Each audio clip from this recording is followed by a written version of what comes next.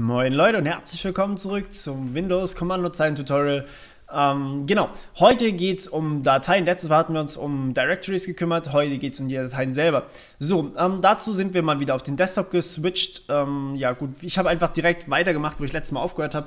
Und ich bin immer noch auf dem Desktop, deswegen mache ich das jetzt nicht nochmal.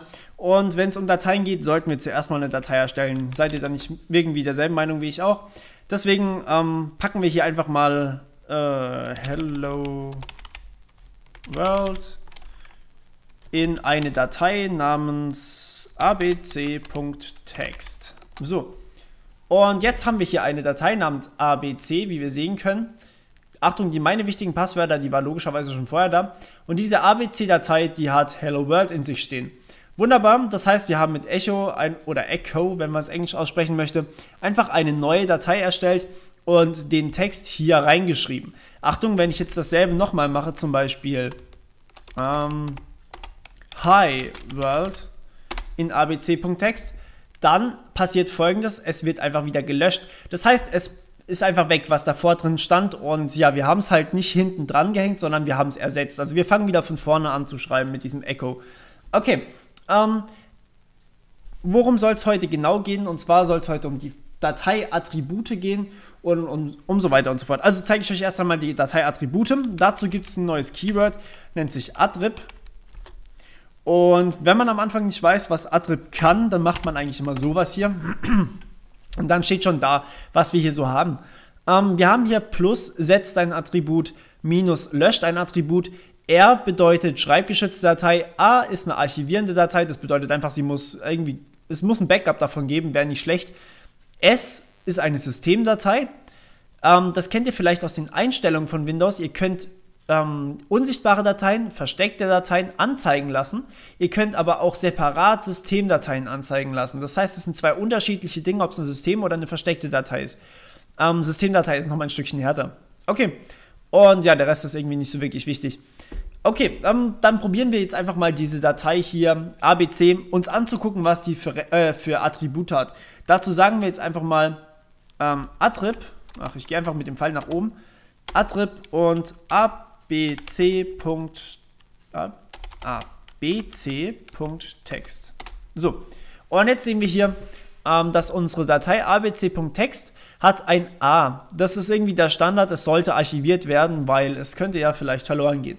Okay, ähm, ja, wie kriegen wir jetzt da noch was anderes hin? Naja, hier oben steht es ja schon, plus setzt ein Attribut. Also sagen wir jetzt einfach mal, achso, ich könnte euch noch kurz zeigen, wie es mit der aussieht. Wir haben jetzt hier übrigens 11 Byte, weil wir halt in dieses Teilchen 11 Zeichen reingesetzt haben. 1, 2, 3, 4, 5, 6, 7, 8, 9 und 10 ist es Enter, glaube ich, oder sowas. Oder es braucht 2. Äh, ja, stimmt, Enter braucht zwei, das ist nämlich ein Backslash N, das sind zwei Zeichen, upsala, das sind zwei Zeichen, deswegen, ja. Okay, probieren wir einfach mal diese Datei ähm, unsichtbar zu machen. Dazu sagen wir attrib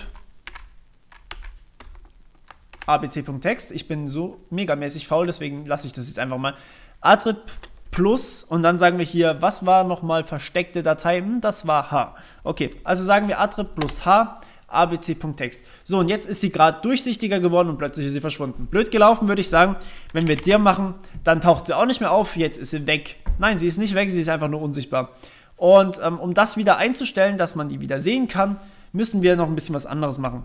Wir können nämlich mit dir trotzdem Hidden Files angucken, nämlich mit dir slash und dann aha liefert uns alle Dateien, also wirklich nur Dateien. Ihr seht, die beiden Verzeichnisse dir sind weggefallen. Desktop.ini ist auch noch eine versteckte Datei, aber die abc.text ist die eigentliche Datei, die wir versteckt hatten. Ähm, dann gibt es die Möglichkeit, dir-ah äh, ah-d zu machen. Das wiederum ähm, zeigt uns alle ähm, versteckten Dateien, aber nicht die versteckten Unterverzeichnisse. Und zu guter Letzt haben wir noch dir-a. Da kriegen wir dann einfach alles aufgelistet, die versteckten, die nicht versteckten und so weiter und so fort. Also einfach slash a benutzen, dann habt ihr all. So könnte man, könnte man sich auch gut merken. Aha, all hidden, a, all.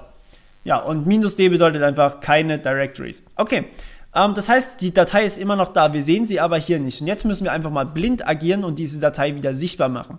Dazu sagen wir attrib ach Manu, ich muss ja alles selber tippen, Adrib und ähm, jetzt wollen wir was entfernen, deswegen ein Minus und dann sagen wir minus h abc.text. So, und 3, 2, 1, die Datei ist wieder da. Wunderbar. So, und jetzt kann es noch sein, dass wir vielleicht was anderes hinzufügen wollen, zum Beispiel read only. Da kann man dann zum Beispiel sagen, ähm, plus r.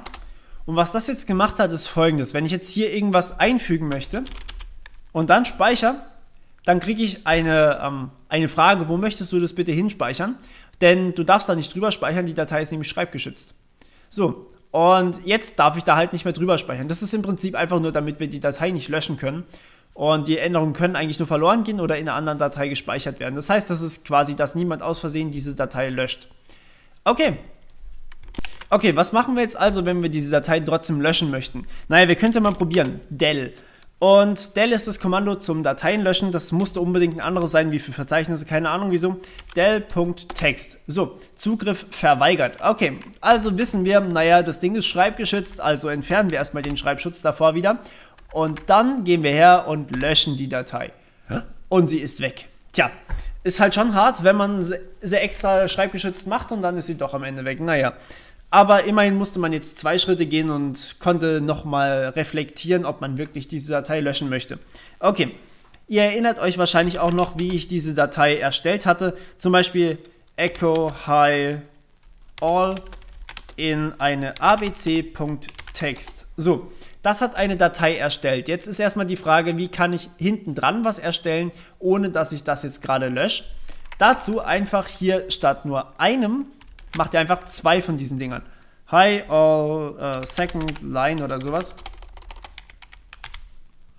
So, und wenn wir uns jetzt diese Datei angucken, dann sehen wir, dass wir eine Hi all second line hinter die erste Zeile eingefügt haben. Super easy. Und ähm, ja, also zwei Striche machen ganz nach hinten, ein Strich ersetzt den Inhalt. Vorsichtig sein ist hier natürlich auch wieder wichtig, denn es gibt keinen Zurück-Button oder sowas. Also wenn ihr das gemacht habt, dann ist entweder alles weg oder es ist was hinten dran und ja, ihr wisst nicht mal, ob das wirklich funktioniert hat oder nicht. Es sei denn, ihr wollt es natürlich angucken. Ähm, angucken, Type und abc. Upsala, Text. So, mit Type abc.text könnt ihr den Inhalt von irgendwelchen Textdateien lesen.